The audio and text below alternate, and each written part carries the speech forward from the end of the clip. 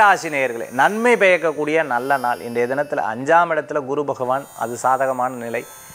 ஆறு ஏழாம் இடத்துல சந்திரன் பிரயாணம் பண்ணுறது கிருத்திய நட்சத்திரத்தில் காட்டி அதுவும் உங்களுக்கு ஒரு சாதகமான நிலை திருமண காரியம் வேண்டாம் இதெல்லாம் திருமணம் திருமணம்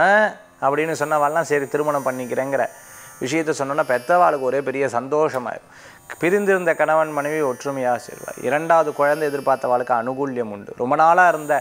ஒரு சப்ஜெக்ட் எனக்கு வந்து வீடு வாங்கியிருக்கேன் திருப்பி இன்னொரு வீடு வாங்கணும் இன்னொரு நகை வாங்கணும்னு நினச்சிருந்த வாழ பெண்கள் எதனா ஆபரணங்கள் வாங்குறது வீட்டுக்கு தேவையான பொருட்கள் வாங்குறது கல்யாண காரியம் நிச்சயதார்த்தம் சீமந்தம் போன்ற விஷயத்துக்காக ஏதேனும் பொருட்கள் வாங்குறது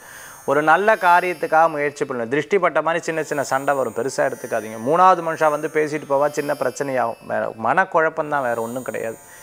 ஸோ உங்களை கூட இருக்கிறவா ஏதாவது ஒரு விஷயத்த பேசுகிறோன்னா உட்காந்து நிதானமாக கேட்டு சரி கவலைப்படாதன்னு சொல்லி அவட்ட ஆறுதல் சொல்லி பாருங்கள் அப்படியே சால்வ் ஆகிடும் இன்றைய தினம் விருச்சிக ராசி